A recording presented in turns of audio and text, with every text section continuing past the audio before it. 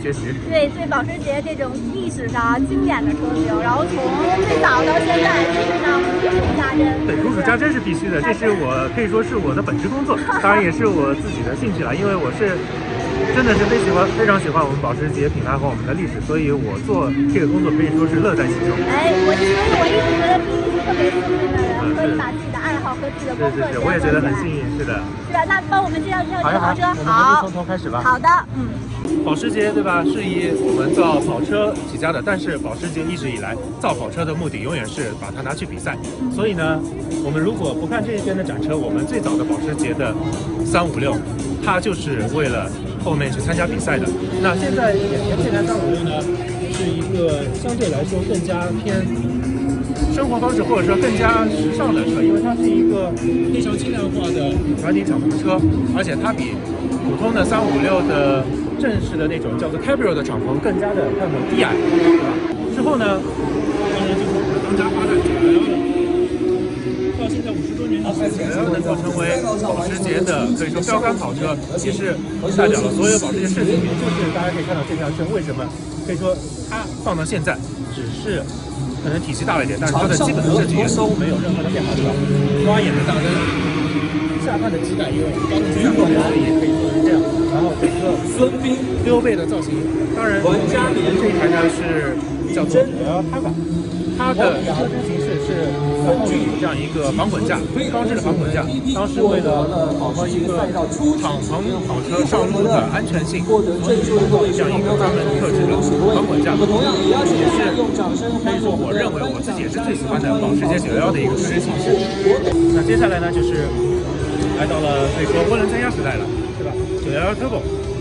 七十年代，我们第一次研发了涡轮增压发动机，再次恭喜我们的正好还沿用到九幺的街车上面。的车手获得了保时捷赛道可以看到这台车它的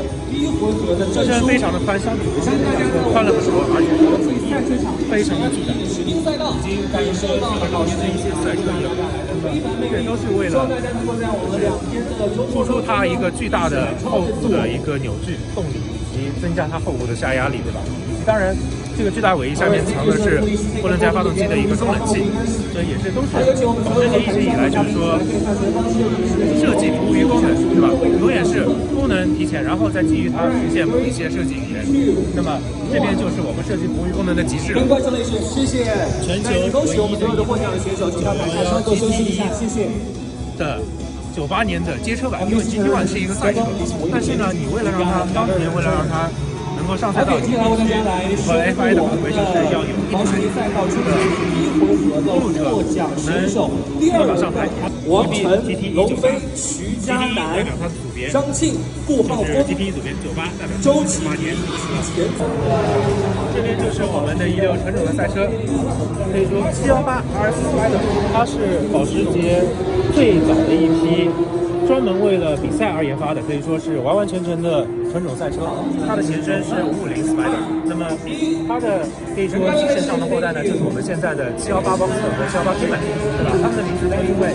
七幺八是一台双门双座的，然后双是四驱的车。幺八，那这台赛车呢，比如说很多的一些比赛的冠军，比如说我们著名的 Targa Florio 和勒芒的一些总结的冠军，也是可以说呃享有盛名或者说荣誉加身的这样一个小小跑车。那后面呢，就是三台可以说都是以九幺幺为名，而且以九幺幺为基础研发的赛车。那么这台叫911卡雷拉 RS 二对吧？它是七三年、七四年的时候，保时捷刚刚把九幺幺正式投入纯种赛车形式投入到赛道的时候，可以看到它的车身也是同样的宽体、同样的大尾翼，其实跟刚刚我们看到那台911 Turbo 很像，因为它就是取就是沿用了很多街车的一些设计语言，并且把它更加的赛车化，对吧？那后面呢，非常有意思的一台叫做911 GT3 Hybrid。Hybrid 大家都知道是混动对吧？但这台车2010年就研发出来了，是全球全世界最早的一台混合动力的赛车。它使用的是一个在副驾驶上装的一个废轮储能式的混动系统，对吧？也是跟现在很多用电池的不一样，也是保时捷比较早期的一个对于混动平台的这样一个尝试。那最终呢，就是我们这台。呃，现役的可以说在 GT 赛场的顶顶级的赛车911 RS2，它是2017年研发出来，然后呢，在2019年进行了一次升级。眼前这台是4.0排量的，现在在我们勒芒啊，还有北美的 IMSA 跑的是它二零一九年版4.2升的，仍然是自然吸气发动机的911。可以说参加 GT 三系列的。赛事的赛车到现在为止都是坚持着自然吸气发动机，也是可以说保时捷一直以来的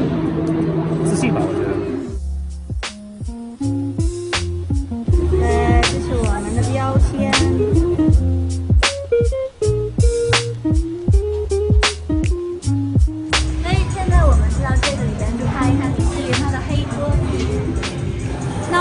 道米其林是一个很讲究这个生活方式，然后很讲究它的这个调性的品牌。但是啊，真的为了让轮胎长得漂亮，然后他们用了很多的黑科技，这个事情还真的是让我觉得值得一看。看一下，这个就是普通的米其林轮胎，它的侧面是这样的，Pilot Sports。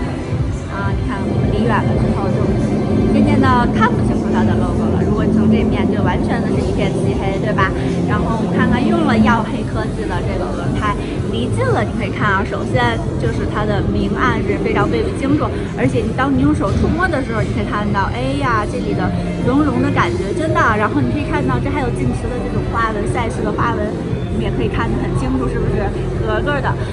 哎，当我们离远、离远、离远，再离远、再离远、再离远、再离远，你看，依然可以看到这个啊，它轮胎上面的这个花纹和造型。那我们再来看一下普通的轮胎，是不是就什么都没有了？哎，这个就是米啊，真的是为了让轮胎漂亮，下了很大很大的功夫。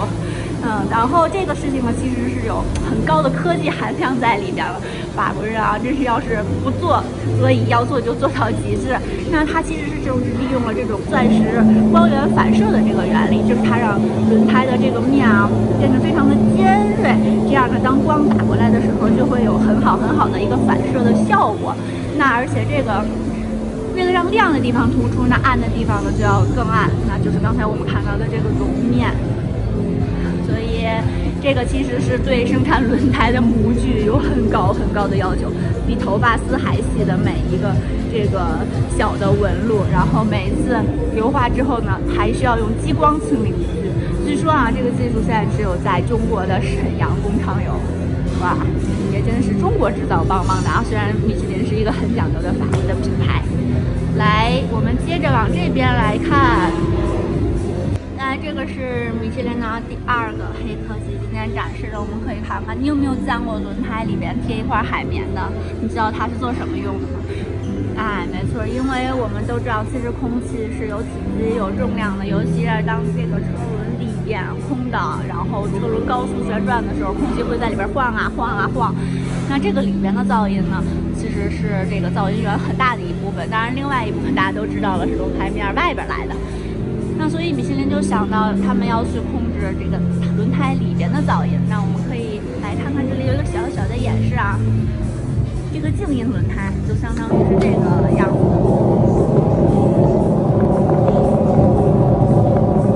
再看看这普通轮胎是什么样的，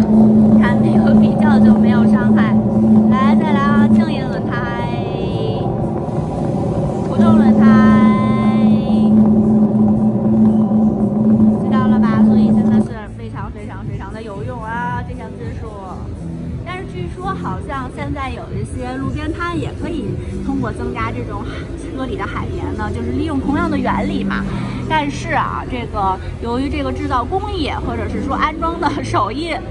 活不到位，那有可能真的是跑啊跑着跑着跑着，这里边的海绵就松了。那其实它对还不如没有。你知道它松了的时候，它会产生更大的噪音。来认准这个标志啊，静音，有一个米其林的黑科技啊，我们，看这是静止轮胎 Track Connected 的智能操控系统。什么叫智能操控系统？我们都知道这个赛车啊，它的胎温对于这个赛车在赛道上的表现非常的重要。那米其林呢，就在它的这个正赛轮胎里边装安装了这么一个位置，然后这上面是一个传感器啊，这个传感器它很方便安装和摘下来。那这个是传感器的接收器，那通过这两个东西呢，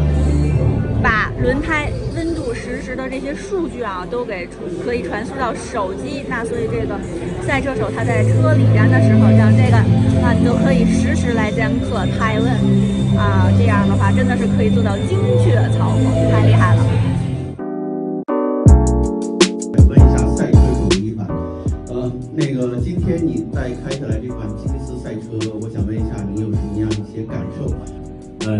，GT 四这台赛车其实是一个，就是对我觉得对新手各方面都非常友好的一台车。对，所以其实很多朋友们刚接触接触赛车的话，可以选择这款车是非常适合，它是呃比较容易上手，而且是开起来会让你很有自信的一台车。对。我们也带自己